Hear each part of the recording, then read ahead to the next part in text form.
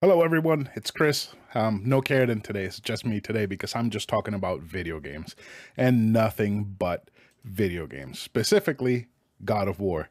Um, this is something that I've been thinking about doing for a long time. Um, I finally have the energy and the mental capacity to do it. Um, so basically, what my plan is to talk about uh, just the games that I beat throughout the year. I want to record some gameplay um, stitch it together with my opinions. Uh, maybe the games and stuff segment from uh, the podcast and just throw them up on Patreon. Maybe eventually put them out on YouTube. Um, these are not going to be high quality. These are not going to be super well done. Um, I don't have a script written out for them. I just have an outline of what I want to touch on. Um, they might be, I don't know, maybe two minutes long, but this one's definitely not going to be because we're already at a minute. Um, they might be a little bit longer, a little bit shorter. Um, I just want to uh, eventually get to the point where I can do these videos in a way that they rival those of famous YouTubers, but I don't really care if I become a famous YouTuber because these are just going on Patreon unless I put them out on YouTube. Um, so last year I beat around 56 games. Um, 56 is a lot of games. And I noticed that I could have recorded gameplay for about 40 of them. And I already gave them scores. I had opinions on them. All I had to do was just talk about them and put them down on paper or something, right? Um, that's all I had to do, which I didn't do. Um, but now, being that I want to keep a better track of these games and stuff and just log them for myself just to be like, oh, what did I think about that? And go listen or watch or whatever. Um, I think this would be a good idea to do that. And um, I might convince Carradine to do it, but we would have to draw everything in her books and that would be a nightmare. So I don't think that's going to happen, but we'll see. We'll see if we can get something done with her for her uh, book talk. So uh, let's go ahead and get started on some God of War, shall we? Hmm? Hmm? Shall we? We shall? Yes? Let's do it. Let's start off by appreciating the main screen. You can see Kratos standing over here looking all badass and scary and shit, but inside we really all know that deep down he's just a teddy bear. A teddy bear that wants to rip off everyone's faces and in half and gut them and kill the gods and Ares!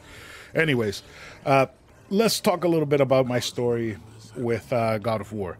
So I don't really remember when the first time I played God of War was. I don't even remember if there even was a first time or if this is something that I've been playing forever, just like Resident Evil 4 and all those games that came out that amazing year in gaming. Um, but uh, I remember playing this game at my buddy Jorge's house. Um, we would play for a long time, and he would get so annoyed because he was tired of the game. He just wanted to play something else, like Metal Gear. Uh, we played a lot of single player games back then. I don't know why, and we just had the time of our lives doing it.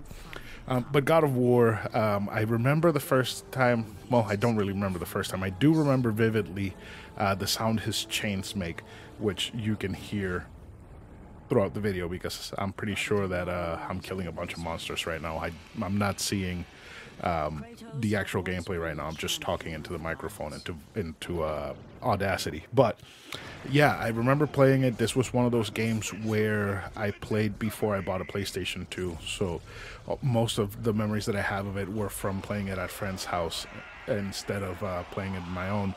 Um, once I did get a PlayStation 2, I remember getting God of War uh, Devil May Cry, and I think I also got got uh, God of War 2, but I'm not sure if that released anytime near it or not, or if I bought that eventually at one of during one of my birthdays. Um, but uh, I do remember playing God of War a lot. I do remember enjoying it a whole hell of a lot, uh, way more than I enjoyed it this time. But we'll get into that later. Um, the game you know, it, it, it, did something that I had never seen before. You know, we had seen uh, weapons and swords and shit in Zelda and like Castlevania and all that stuff, but we had never seen up to this point uh, swords being attached to chains and being flung around and feeling the weight of those chains with swords just hitting enemies and ripping them to shreds. It was a completely brand new feeling unlike anything else I had seen up to this point. And I loved every second of it. It was great. It was it was very very fun. Uh, it, it, it did so many new things like QuickTime events. I had never seen QuickTime events up until this point, and yeah, I know that after this game they became incredibly uh, overabundant in other games because uh, apparently game developers saw it and they were like, oh, people like pressing buttons in between of a cutscene, so they don't pay attention to the cutscene. They just want to press the buttons. Uh, no, it only worked in God of War because the buttons were put off to the side, and you would press them, get a lot of cutscene, and then you would have to press another one, get a lot of cutscene, and so on and so forth, until the whole cutscene was done. And that was great. That was cool as fuck. And the thing is that that didn't happen during game uh, story moments. It happened during gameplay moments. So let's say a boss fight or a fucking normal encounter, like with the Cyclops, you would find one and just beat the shit out of it until you actually manage to kill it. Now, that that just resonated with so many people. Like this game was just so popular for some reason. And at least in Puerto Rico, where I grew up, it wasn't so much uh, that much popular because back then uh, most people were really into the Need for Speed racing games, which I get it, they're fun, but god damn it, branch out, play something else. Um, eventually, that whole craze would repeat itself.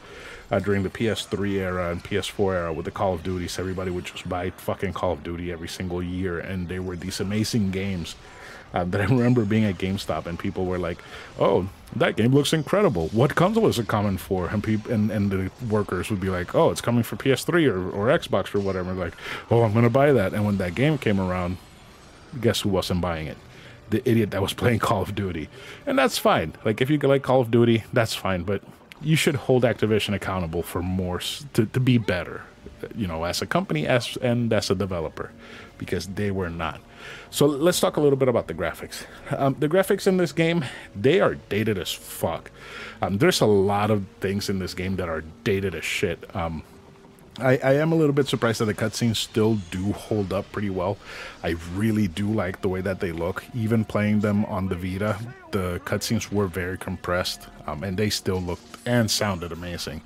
Uh, the gameplay itself, uh, you can count the polygons on Kratos. He does not look great, and the enemies look even worse. Um, especially those zombies you fight at the beginning of the game, they look pretty bad. Um, I'm actually surprised that the Hydra does look very, very good. I, am not sure if we're going to be able to see the Hydra. Um, I will maybe add some extra audio at the end of the video if I do get to the Hydra or if I'm close enough that I know that I can get to the Hydra. Um, so that you guys can see exactly what it looks like and that just fighting that hydra such a fun boss fight. Like I, I, wish they would have done more boss fights in this game like this but we'll get to that part later. Um, so yeah like and, and like the vistas themselves like seeing the scale of things like how massive this uh, ancient greek world is the valleys, the fucking cities, everything is just massive in size, and Kratos just looks so tiny in compared to the scope of everything else. And even Ares, the moments where you see Ares stomping around Athens, that he just looks intimidating and formidable. Um, even at the end of the game where you do fight Ares, um, there is this. Uh, you're both giants, right? Uh, we'll get to the story later on, but you're both giants and you can see in the surrounding area like in the bridges and stuff you can see very tiny people just run around and it just it, the game just handles scope so well even though the graphics are not as amazing as they should look. Um, the music like i said is fantastic. It is epic. It is uh, very uh, reminiscent of those terrible 300 movies. They're so bad and so good at the same time. Um, so you have like very fluty stuff, um, some strings. It just feels like Greek uh, epic nest stuff. Yeah. Um, so there's really not much to talk about the music in terms of um, variety because it all kind of sounds the same, and the theme song is a banger though. Uh, but the rest of it is just it kind of melds within all the other stuff. It just feels like it belongs. There's no song by itself that stands out to me. It's just all flowing into each other. And it's great. I, I don't complain about that because I do enjoy it.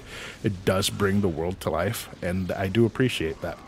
Um, I, I didn't write that I wanted to talk about the actual um, combat uh, sounds, but the combat sounds are great. Like I said earlier, the chains with the swords just attached to Kratos and just hearing that while the sword, swords are being thrown around and smacking the the fucking enemies and just hearing them like doomph and gush and shit. It's just so much fun. It's so so it it feels great. Like it gives you that that it, it, like there's a connection between the sound and the way that the controller feels and the way that the uh, enemies react to your hits and everything. It feels like it has weight. And I have played a lot of games before where you attack and the attacks feel like they have no weight, like they just go straight through the enemy and cause damage and whatnot, but you don't feel it. And I love how these these feel like just grabbing an enemy and ripping him in half is just a button press, but it just sounds and feels so great. And it's because the the the, the sign in this in the audio is so good.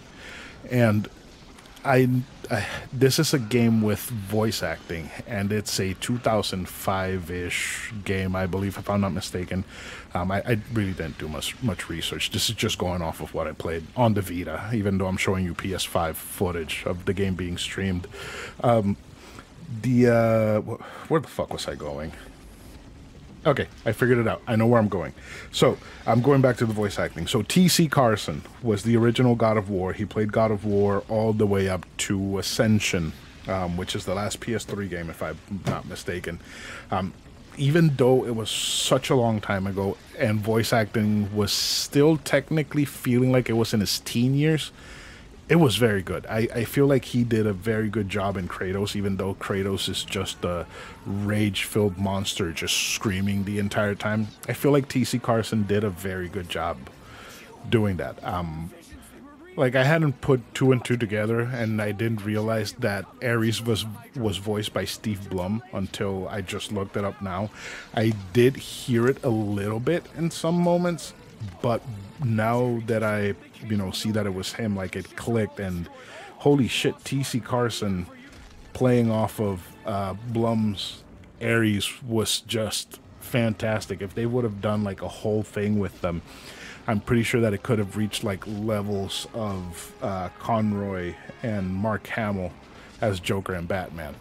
But Ares needed to get stabbed in the face, and he did. So let's talk about the gameplay. So the gameplay devolves into a bunch of things. It devolves into puzzle solving, it devolves into platforming, it devolves into combat, and uh, there's a few collectibles to increase your health and uh, to increase your magic. You do have magic to attack, you do have your weapons, you have an extra weapon that you can use, which is uh, the Blade of uh, Artemis, if I'm not mistaken. Um, you do collect uh, red orbs that do give you what would be maybe called experience points. These experience points you use you spend them on your weapons, on your abilities to level them up. So they need a certain amount of experience points for you to be able to level them up. So like at first you might have to level up your blades of chaos, which is Kratos' main weapons with the chains, and it might take, you know, uh, maybe five thousand orbs. But those five thousand orbs would be like 16 bars of those red orbs that you've collected, which I, am going to tell you, I don't think this game does the red orb thing as well as some of the other ones in the series do. But being that it is the first one, I, I can oversee it. I, I, can, you know, step over it. I, I, really don't mind. Like at the end, I felt powerful enough. Um, I didn't feel like I was lacking or anything, even though all of my abilities were not fully, completely uh, met with their maximum level. Um, the, the combat itself, it's so much fun. Like it's just maniacal swinging of the blades and hitting where, whatever you hit and just killing it. Um, you do have your square button, which is your light attack. It's fast, it's powerful, it's light. Um, then you have your triangle, which is your heavy attacks. You can combine square and triangle to do different combos. Um, it's not as extensive as, as Devil May Cry is, but it's mostly like a combination of light, light, heavy, and ending the combo in a heavy. Now, as you level up your weapons, you can make uh, longer combos. Uh, for example, you can do a three hit combo with your heavy attacks, and you do gain some extra abilities like pressing R1, uh, I mean L1 with square or triangle or circle to do a special ability. Um, there's also the circle, which is your grabs. Um, those usually don't yield in red orbs. Um, those maybe will give you blue or green orbs depending on the enemies because there are some enemies that when when you take their health low enough they will allow you to do an insta kill so once you hit circle kratos will maybe you know start climbing all over them and eventually kill them but uh, those are with button presses. Like the Minotaur will have you just smash circle until Kratos slams his blades into his head and just kills it, and that one gives you uh, health orbs, which are green, and magic orbs, which are blue. Which I do appreciate because the game can get a little bit frustrating um, with the enemies. Sometimes the enemies do all attack you at the same time, and then they block when you try to hit them, and they don't stagger as often as you think they would. Now, the Blade of Artemis is a second uh, bladed weapon, melee weapon that you get. Um, this weapon is good against certain enemies, but it doesn't have the reach that the Blades of Chaos use. I mean, you, sh you should play the way that you want. I leveled it up all the way because I did like to use it for a few certain enemies.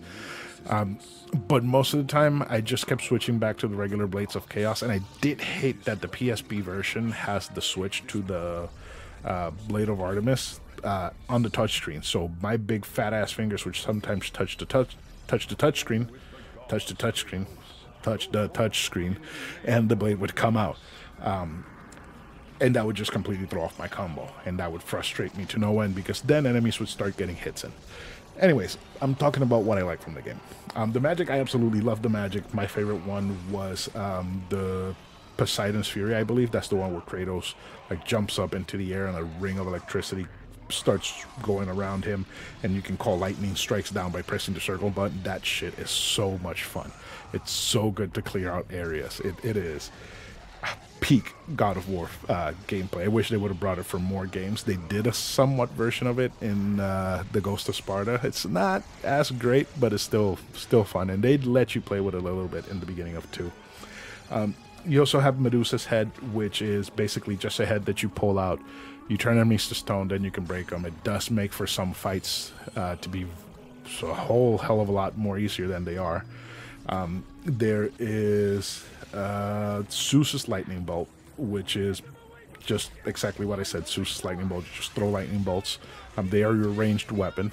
Um, and then you have, I believe, uh, the Legion of Hades, which are ghosts that you can summon that will attack um, your enemies for you. That one has kind of a little bit of a wind up animation to it. So Kratos does like this whole little dance with his blades and whatnot. So kind of channels his little Shakira on and throws the ghost at people. And they do a lot of damage and they are great to have around. But I just feel like it kind of kills the pacing of the combat, which the combat is all about fast and frenetic and just bloody and gory and visceral. Um, and that just kind of slows it down because they just cha- they, they pretty much uh, hit stun the enemies.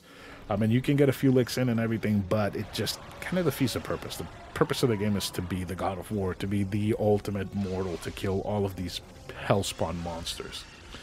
So yeah, gameplay fucking solid, fantastic. I I love it. I absolutely love the game, the the combat. Now, what I don't like is the puzzle solving and the platforming. I miss like the uh, the platforming more than the puzzle solving. Let's start with the puzzle solving since I don't hate it as much, but I still do hate it.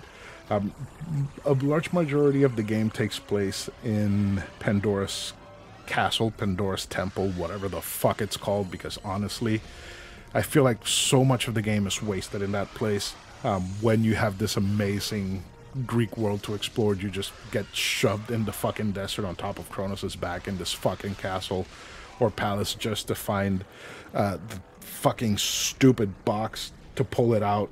Uh, anyways, um, so the puzzles are just so fucking huge. And they're not hard. They're just go there, pull the lever, puzzle solved. Or maybe spin these rocks around and make it match so that they fill up the whole fucking gap on that stupid fucking wall so you can get a goddamn fucking pendant. Like, they just feel like fucking padding. They don't feel good. They don't feel like they give you dopamine. It just feels like extra steps to open a fucking door. And I hate that shit.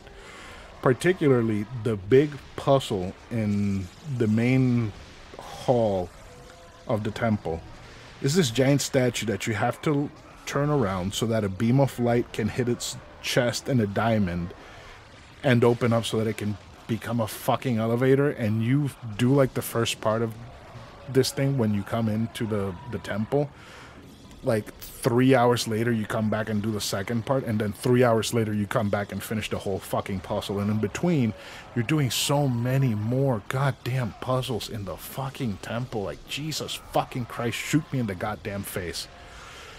Fuck i hated that shit. They, I, I am glad that the series did keep the puzzles but stepped away from the stupid fucking bullshit that these puzzles are. Like and there's this one that fucking annoyed the shit out of me because it was a puzzle on top of being a fucking platforming challenge. So you had to jump through these gaps, these platforms that were moving on ropes. And in between them, buzz saws were going through. So you had to jump in between them. And they were all going at different speeds. So it's not like you could just hop your way there. No, you have to like fucking time this shit. Once you got there, there was a door that you had to open, and there's three switches for the fucking door right? There's one on the left side of it, there's one in a hole in the right side of it, and then the main switch, it's all the way at the entrance of the fucking area, right before those goddamn chainsaws. So you drop a crane, uh, a rock on a crane down the hole. You lift it up, you put it in the other switch, you grab a statue from the other fucking side on the left, drag it over to the hole, throw it in the hole on the right side, and then put it on top of the switch. After doing that shit, you have to jump back blindly towards the fucking boss sauce all the way to the entrance. So then you can stand on a fucking time switch and then jump over the fucking platforms to the other side and hope that you have enough time to run inside of the fucking goddamn building. Like that shit drove me fucking insane. That I had to do that shit so much. I died so many fucking times doing that. Like that made me fucking miserable. I thought about quitting the game so many times, but I didn't because I was stubborn and I had nothing else to better better to fucking do. So, like, ah, man, like if if you don't get it, like, I hate the fucking puzzles. They're so the the, the puzzles and the fucking platforming. It's it feels like it's a product of its time, like the time where people still hadn't figured out exactly how to do 3D puzzles. They were starting to, but it wasn't there. And I know there's this big thing at the end of the game where you're in hell and people are like, oh, it's so difficult to climb up these towers with the fucking spikes that are spinning around. That was easy. Like, I did that on my first fucking try. It's just a matter of watching the spikes and moving up and down. You don't even have to worry about the spikes, the, the, the towers turning you and pinning you up against the wall, because that actually helps you go up the fucking towers. Like, that, that was easy. That, I didn't fall off once. That was great. But the fucking platforming before that was just so bad. There were it's this little platforms that are like meat chunks on top of bone stilts that are sticking out from the ground, right? And you jump on them and they start caving in from under you. So you have to do the fucking platforming right and you have to do it fast. And if you miss a spot or anything, in it like like a, a pixel or, or or anything, like you will fall and you will fucking die. And that shit drove me batshit because I had to do the first part of hell like four or five times. Now after that, there are some beams that you have to balance yourself on, and they spin and they have blades and whatnot. I didn't find those that annoying, but I can see how they can be very fucking annoying if one of them catches you off because they will hit you and Kratos just falls off. It's not like in the other games where if you fall off a beam, Kratos will hang on and you'll be able to pull yourself up. They didn't do that shit in this game. Oh, and another thing that I just remember that annoyed the fuck out of me the wall climbing. You can climb walls, right? And you can jump up and you can jump sideways, which is great because it helps you move faster when you're climbing the wall. You can't jump downwards or slide down. You have to slowly crawl or climb your way down and I there was a part where I got turned around a little bit because honestly I wasn't paying too much attention. I was a little bit distracted. And I had to climb the same fucking wall like two times. and I was ready to put the game down and not come back to it. Like there were so many times in this game where I just wanted to fucking give up and I didn't. Um, so like like the things that I hate about this game are just part of the gameplay. It's not even the story or the combat. It's like not the combat's amazing, like but the fucking platforming and the goddamn fucking puzzles. Like Jesus fuck. Like fix this game. Make it a remake this. Don't remake The Last of Us. Remake this and make it fucking better. God damn it. Ugh. All right. Let me try to calm down and talk a little bit about the story. So the story. Um, so basically, you're playing as Kratos. He is a pawn of the gods, for better, for lack of a better word. Um, so Ares, the god of war, uh, saved him when Kratos begged him to be saved from being killed by a barbarian, and uh, Kratos had to spend the rest of his life in servitude to the god of war, Ares. Now, Ares tricked him into killing his family, and uh, I'm not sure if it was an oracle or a sage or whatever the fuck, bound his family's ashes to his skin. So that's why he's white. That's why he's called the Ghost of Sparta. Um, so Kratos was done that day with Ares. Like, no more. I'm gonna fucking kill Ares. I don't want anything to do with him. So he makes a plea with the gods, and the gods the gods tell him, okay, we will forgive you of your sins if you go kill Ares.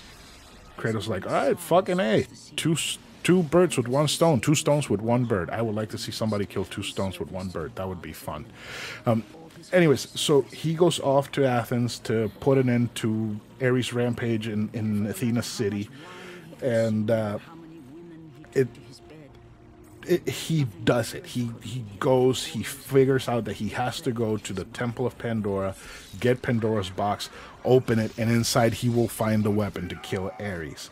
It goes into a whole other thing in the rest of the games, which does not make any fucking sense with what came out of that box in this game. But uh, basically, while he when he finds the box, he starts pulling it out of the temple. He's supposed to go through the desert, get to Athens, and open the box there.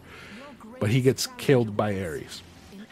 Um, Kratos goes to hell. He escapes hell because, of course, he does. He escapes fucking hell, and uh, he opens the box, fights Ares, and kills him. At the end, the gods forgave his sins, which, yay, but they didn't take away the visions that he kept having of him murdering innocent people under the name of Ares. And uh, they give him the excuse of nobody can forget what you've done, but your sins are forgiven. And Kratos is like, well, that's it. I'm going to go kill myself. So he goes to the highest peak in all of Greek Greece and throws himself off, and the gods pick him up and they're like, "No, you can't kill yourself because you need to be the new god of war." And Kratos is like, "You fucking trifling motherfuckers! I hate you all." And he goes to uh, fucking Olympus and lives there the rest of his days as the god of war, um, or so it it, it it it was told um, in the cutscene. Uh, there were uh, there are some inconsistencies with that ending because the series kept going. It kind of felt like uh, the creator, uh, David Jaffe, just wanted to end the game game there. No series, no nothing, just end the game. That's the end of Kratos' story.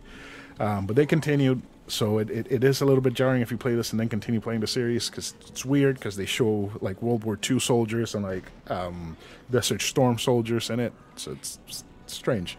Um, so how can you play this game? I played this game on the Vita. I'm recording the footage on the PlayStation 5 by streaming the PS3 version of the game which it surprisingly runs very well. Like I, I am surprised that it runs as well as it does compared to all the other games that I've tried to stream. Like the Force Unleashed just runs like complete fucking dog shit. But it's a good way to play it. If you have a fast internet connection and you do connect your your Ethernet cable straight into your PS5, like it will run pretty well. Um, so that is a way to play it right now. Um, you do have to unfortunately subscribe to one of the higher tiers. So the sixty dollar tier is not going to get you access to this game, but the higher ones will. Um, so that's that's up to you if you want to play this game or not. If you have a Vita, just buy it off the the store, uh, the online store, which is what I did, or try to get a physical copy if you can, but that'll run you a pretty penny. Um, uh, couple more things. Um, my score for the game um, it's a seven out of ten. Um, like I said, I, I like the story. I love the combat. Um, I, I just hate the platforming and the puzzles. They just feel like padding. They feel like wastes of time. They don't feel like they add anything to the story or to I mean they don't they don't feel like they add anything important to the game like solve this puzzle and then a little bit later on you find a dead fucking Spartan and you're like how the fuck did you get here if this puzzle had to be solved first. It, it's just fucking frustrating.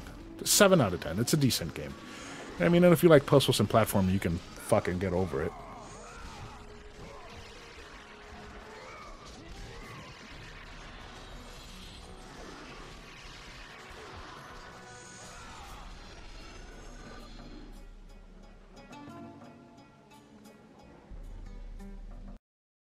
So yeah, that that's what I think about God of War. Um, I mean, I, I didn't have a terrible time because I, I, obviously did finish it, and it is a good game, and it, it's a fucking classic. Like, if if you're a gamer at some point, well, if you're a gamer my age, at some point you've probably fucking played a God of War game, which is, yeah, you you've seen some shit. Anyways, it's fun. Play it. Um, don't play it if you don't mind the puzzles or the platforming, I mean, you'll have a great time at least just with the combat, even though it feels a little bit dated and other games in the series have done it better. But it's still a good time. Um, so th- this is my idea. I hope you enjoyed this video. Um, this is what I plan on doing going forward. Um, I am going to invest in a better video editing system and uh, obviously better recording because I mean this camera looks incredible. I can see the pores in my fucking face, but when I have to change the format of the video, it loses a ton of fucking quality, which drives me up the fucking wall. I look cloudy as shit. Um, and, I, am gonna get better lighting. Right now, I have like this fucking lamp and that lamp over there, and they're just fucking orange, white, yellow shit um, beaming into my face. So, uh, yeah, just if you have any ideas, if you have any thoughts or anything, just drop them below. Um, let me know. And uh, I'll see you guys hopefully pretty soon, I think.